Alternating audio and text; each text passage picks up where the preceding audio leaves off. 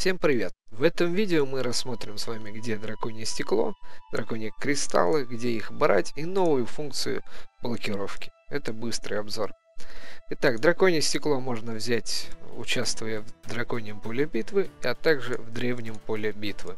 Также драконье стекло можно взять у торговца, который здесь ходит, продает товарами на верблюде и на корабле. Еще драконье стекло выпадает в событиях. Событиях, еженедельных событиях. Так, стекло.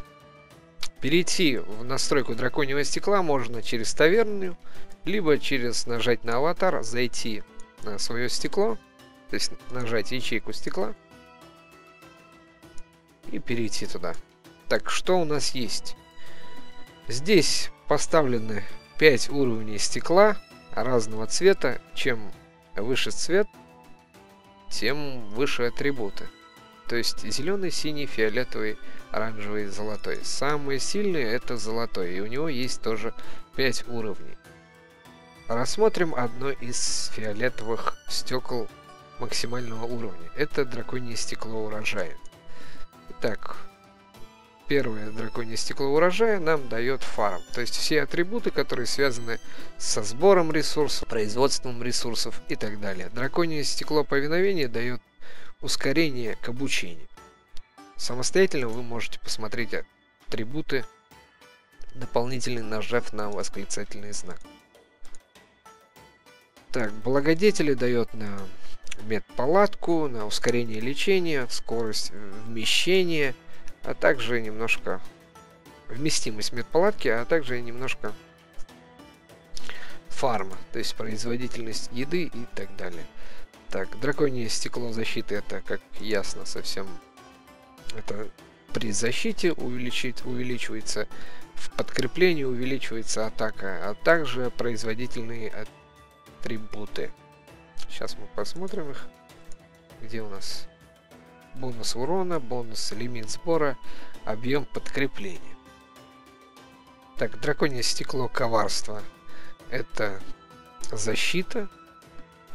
Это стекло защиты более чем нападение. Так, скорость при атаке, скорость, бонус при атаке. То есть это кольцо для защиты. Так, драконье стекло воеводы это для войны. Естественно, здесь все атрибуты, которые он дает, то сделан уклон на атаку. На атаку и защиту. Обработка произвольные атрибуты вы можете увидеть здесь. С версии 2.018 э, добавили новую кнопочку блокировку атрибутов стекла. То есть, если вы выбираете, например, вот это стекло первого уровня, нажимаем на обработку, и нас, как мы видим, по умолчанию у нас стоит производство мифрила. Так, плюс 21%.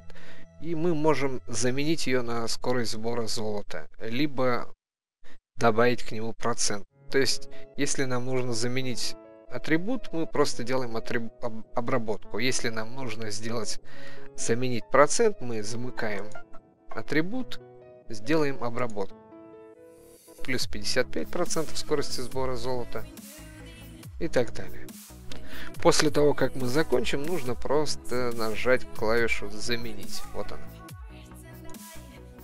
Также стекло можно сбросить. Для этого нужно снять стекло. Если у вас, например, мы сделаем сейчас сброс, посмотрим количество кристаллов 104 тысячи. То есть мы можем переключаться между золотым, вот он золотой на фарм,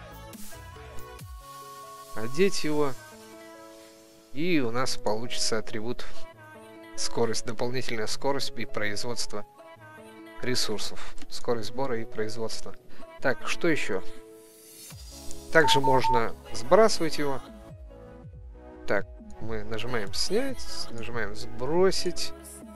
И можно одеть любой другой. Атрибуты не меняются. Атрибуты сохраняются, какие были изначально.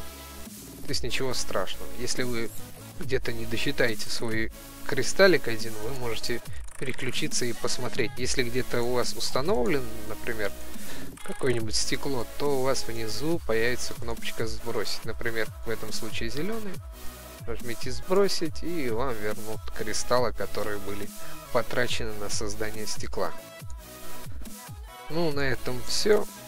Всем удачи!